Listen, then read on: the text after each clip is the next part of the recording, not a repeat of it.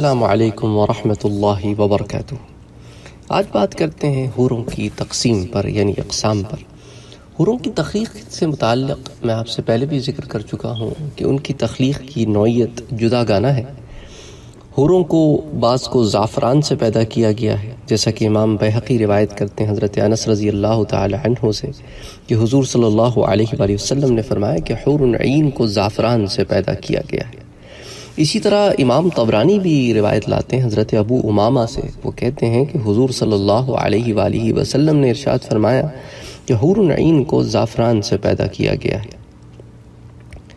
الحادی الارواح میں آتا ہے، پیج نمبر 274 پر۔ کہ حضرت ابو سلمہ بن عبد الرحمن رحمۃ اللہ علیہ آپ تابعی ہیں۔ فرماتے ہیں کہ اللہ تعالیٰ کے دوست کے لیے جنت میں ایسی بیوی ہوگی جس کو آدم و حوا علیہ السلام نے نہیں پیدا کیا، نہیں جنا، بلکہ وہ تو زعفران سے پیدا کی گئی ہے۔ اسی طرح حضرت زید بن ابی سلمہ رحمۃ اللہ علیہ کہتے ہیں کہ اللہ تعالیٰ نے حورنعین کو مٹی سے پیدا نہیں کیا، بلکہ کستوری کافور اور زعفران سے پیدا کیا۔ البدور الصافرہ میں یہ حوالہ آتا ہے۔ اسی طرح حضور اکرم صلی اللہ علیہ وآلہ وسلم کا ایک ارشاد پاک جو ترمزی وغیرہ میں بھی آتا ہے اور اور دیگر کتب میں بھی آتا ہے کہ جب آپ سے پوچھا گیا کہ حور کو کس چیز سے بنایا گیا ہے تو آپ نے ارشاد فرمایا کہ تین چیزوں سے پیدا کی گئی ہے۔ اس کا نچلا حصہ مشک یعنی کستوری کا، درمیانہ حصہ عمبر کا اور اوپر کا حصہ کافور کا۔ اس کے بال اور ابرو سیاہ نور سے ان کا خط کھینچا گیا۔ ہے اسی طرح حوروں کی تخلیق سے متعلق ایک اور روایت، ایک اور روایت جسے تذکرت القرطبی میں روایت کیا گیا ہے کہ حضور صلی اللہ علیہ وآلہ وسلم نے ارشاد فرمایا کہ میں نے جبرائیل سے پوچھا اور کہا کہ مجھے بتلاؤ کہ اللہ نے حور عین کو کس طرح پیدا فرمایا ہے۔ تو انہوں نے فرمایا کہ اللہ عز و جل نے ان کو عمبر اور زعفران کی شاخوں سے پیدا فرمایا ہے۔ پھر ان کے اوپر خیمے نصب کر دیے ہیں۔ سب سے پہلے اللہ کے، اللہ تعالیٰ نے ان کے چھاتی سے، پستانوں سے۔ ان کو خوشبودار گورے رنگ کی کستوری سے پیدا فرماتا ہے اور پھر اس پر باقی بدن کی تعمیر فرماتا ہے۔ بہرحال تفصیل سے میں حوروں سے متعلق اور بھی بہت ساری باتیں آپ سے ذکر کر چکا ہوں، لیکن آج ان کی تخلیق سے متعلق بعض باتیں ذکر کرنا چاہ رہا ہوں۔ اس کی وجہ ہے کہ ان کی پھر اقسام آپ کے سامنے واضح ہوں گی۔ اچھا حضرت ابو الحوث رحمۃ اللہ علیہ کہتے ہیں کہ ہمیں یہ روایت پہنچی ہے کہ ایک بدلی نے، ایک بادل بارش برسائی تو ان کے قطرات رحمت سے حوروں کو پیدا کیا گیا۔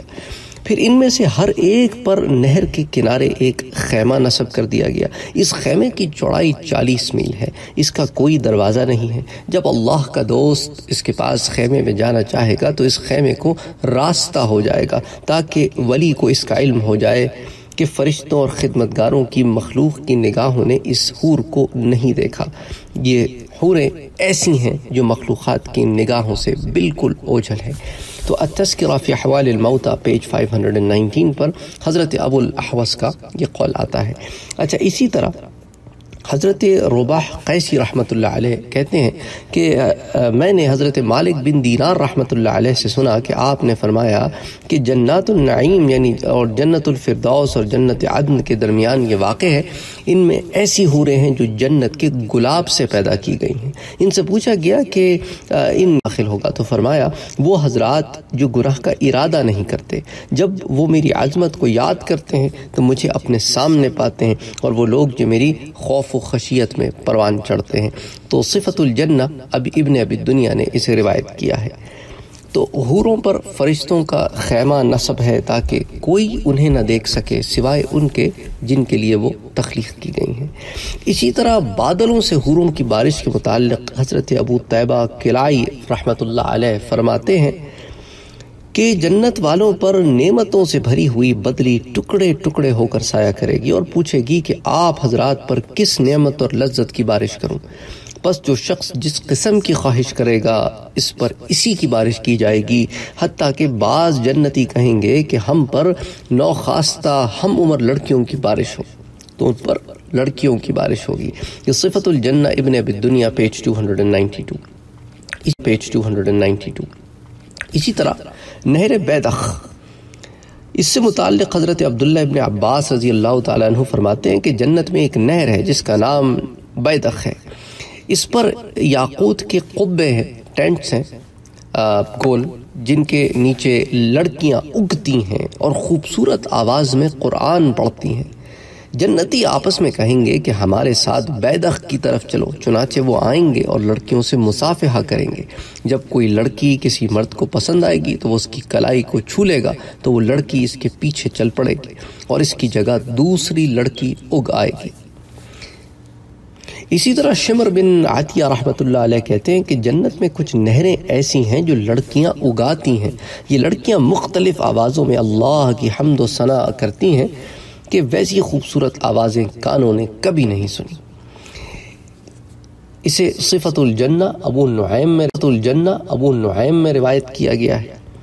اسی طرح حضرت خالد ابن ولید رضی اللہ تعالی عنہ کہتے ہیں کہ حضور صلی اللہ علیہ وآلہ وسلم کو یہ ارشاد فرماتے ہوئے سنا کہ اہل جنت میں سے ایک شخص جنت کے سیبوں میں سے ایک سیب کو پکڑے گا تو وہ سیب اس کے ہاتھ میں پھٹے گا، اس سے ایک خوبصورت حور نکلے گی۔ اگر وہ سورج کی طرف جھانک لے تو سورج کی روشنی اس کے سامنے شرمندہ ہو جائے۔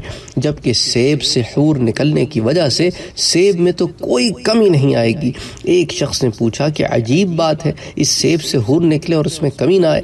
حضرت خالد رضی اللہ تعالیٰ عنہ نے فرمایا ہاں ایسا ہی ہوگا۔ اس کی مثال یہ ہے، چراغ سے چراغ روشن کیا جائے، اس میں کمی نہیں ہوتی۔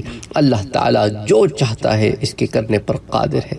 تفسیر قرطبی، جلد نمبر سات، صفحہ نمبر 133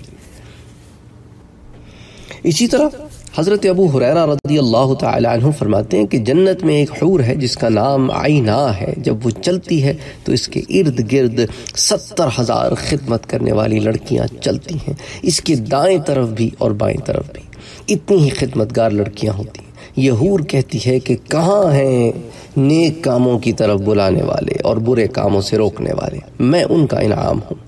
اسی طرح ایک ہے آئینہ مردیہ، شیخ عبد الواحد بن زید رحمۃ اللہ علیہ فرماتے ہیں کہ ایک مرتبہ ہم نے جہاد کی تیاری کی تو میں نے اپنے ساتھ والے رفیقوں سے کہا کہ جہاد کے فضائل میں سے ہر ایک شخص دو آیتیں پڑھنے کے لیے تیار ہو جائے۔ تو ایک شخص نے آیت پڑھی کہ بے شک اللہ نے مسلمانوں سے ان کے جان و مال اس قیمت پر خریدیں کہ ان کے لیے جنت ہے کہ ان اللہ من المؤمنین انفسهم واموالهم بان لهم الجنہ۔ یہ آیت سن کر ایک لڑکا جو چودہ پندرہ سال کا تھا اور اس کا باپ بہت سامان چھوڑ کر مر گیا تھا، کھڑا ہوا اور کہنے لگا کہ اے عبد الواحد کہ اللہ جنت کے لیے بدلے خرید لی۔ تو شیخ نے فرمایا کہ بے شک اس نے خرید لی۔ تو اس نے کہا، تو میں گواہ کرتا ہوں کہ میں نے اپنے جان و مال جنت کے بدلے بیچ دیا۔ میں نے کہا، خوب سوچ لو، سمجھ لو، تلوار کی دھار بہت تیز ہوتی ہے اور تو بچہ ہے۔ مجھے خوف ہے کہ شاید تو صبر نہ کر سکے اور عاجز ہو جائے۔ اس نے جواب میں کہا کہ اے شیخ، اللہ تعالیٰ سے معاملہ کروں اور پھر عاجز ہو جاؤں۔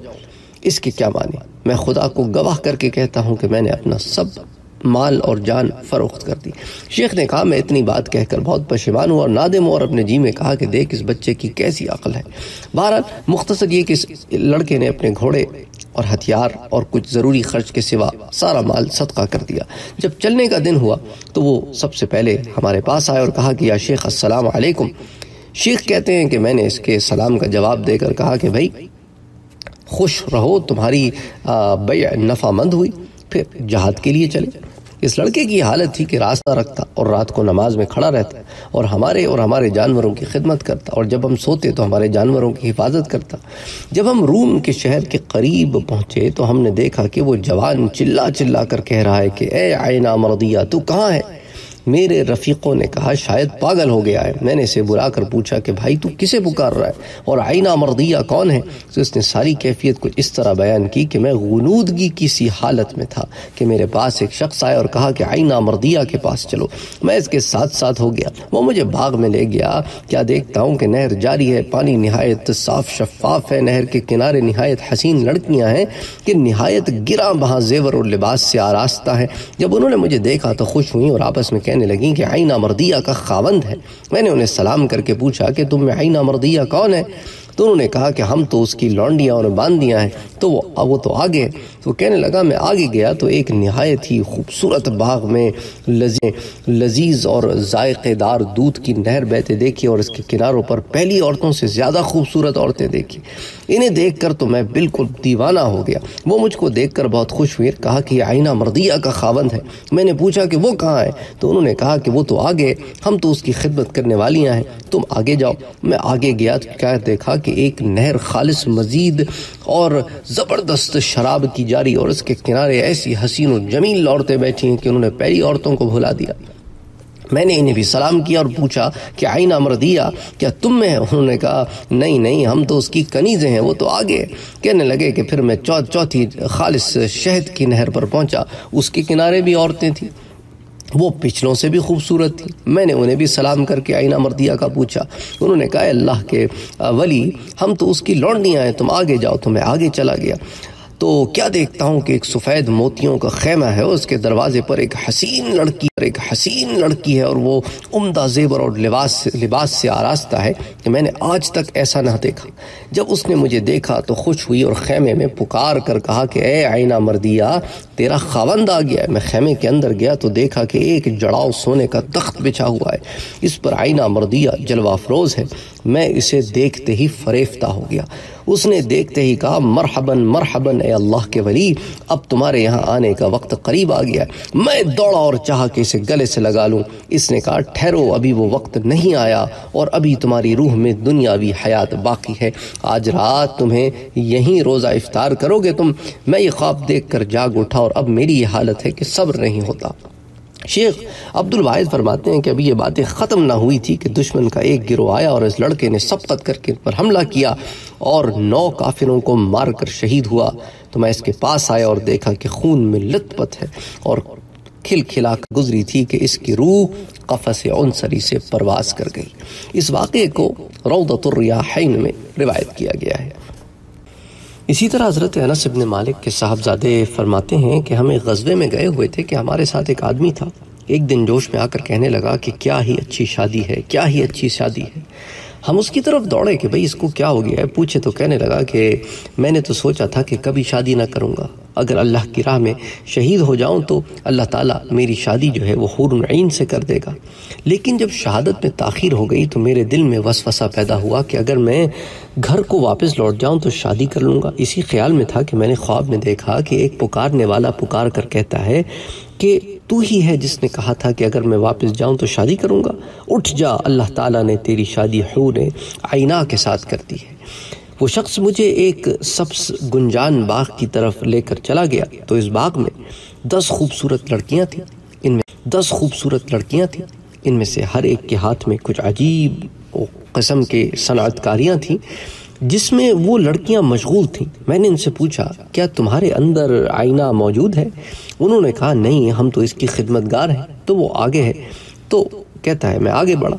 یہاں تک کہ اس سے بھی زیادہ گنجان باغ میں جا پہنچا، جو پہلے باغ سے بھی زیادہ خوبصورت تھا۔ اس میں بیس خوبصورت لڑکیاں تھیں۔ وہ لڑکیاں اتنی خوبصورت تھی کہ پہلی دس لڑکیاں ان کے مقابلے میں کچھ نہ تھیں۔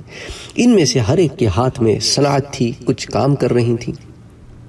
میں نے ان سے پوچھا کہ تمہارے اندر آئینہ ہے؟ تو کہنے لگی، ہم تو اس کی خدمت گار ہیں۔ تو کہنے لگا، میں آگے چلا۔ تو ایک اور باغ میں داخل ہوا، جو پہلے سے بھی زیادہ خوبصورت تھا۔ اس میں چالیس لڑکیاں تھیں، جو اپنے کھیل میں مشغول تھیں۔ وہ اتنی حسین تھیں کہ پہلی ساری لڑکیاں ان کے سامنے بیکار معلوم ہوتی تھی۔ ان کا حسن جو ہے وہ اتنا اچھا تھا۔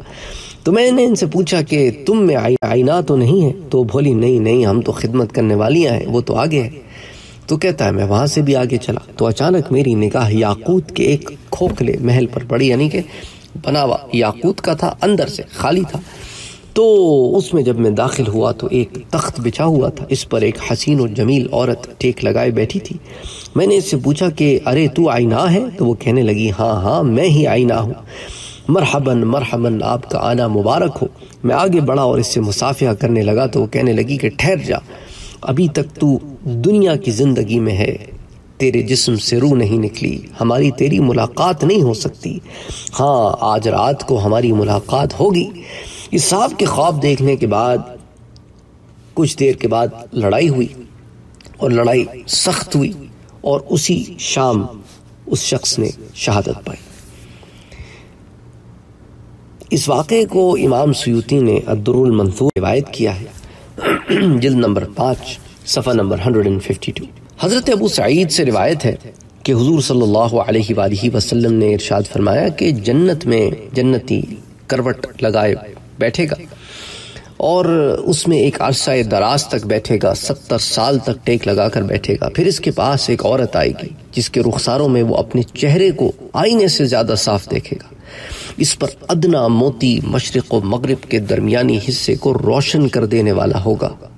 یہ اس کو سلام کرے گی، وہ اس کے سلام کا جواب دے گا اور پوچھے گا کہ تو کون ہے؟ وہ بتائے گی، میں مزید میں سے ہوں۔ اس عورت پر ستر جوڑے ہوں گے۔ ان سے بھی نظر گزر جائے گی، حتیٰ کہ وہ ان کی، اس کی پنڈلی کے گودے کو ان جوڑوں کے پیچھے سے دیکھے گا۔ اس عورت پر تاج بھی ہوگا، جن کے ادنا درجے کا موتی مشرق و مغرب کے درمیانی حصے کو روشن کر سکتا ہوگا۔ روایت کیا ہے، پھر مشکات کی جلد نمبر دو میں صفحہ پانچ سو پر بھی آتی ہے۔ پہلے بھی اس سے متعلق تفصیلات آپ کے ساتھ شیئر کر چکا ہوں۔ یہاں ان تفصیلات کو مختصراً جمع کرنے کی کوشش کی ہے۔ السلام علیکم ورحمۃ اللہ وبرکاتہ۔ اگر آپ نے ابھی تک ہمارے چینل کو سبسکرائب نہیں کیا ہے تو سبسکرائب کا بٹن دبائیں، بیل کے آئیکاؤن کو پریس کریں تاکہ آپ کو ریگولر نوٹیفیکیشن اپڈیٹ مل سکے اور آپ ہمیں ہمارے لائیو سیشنز میں بھی جوائن کر سکیں۔ ویڈیو پسند آنے کی صورت میں لائک شیئر اور کمنٹ کرنا نہ بھولیں۔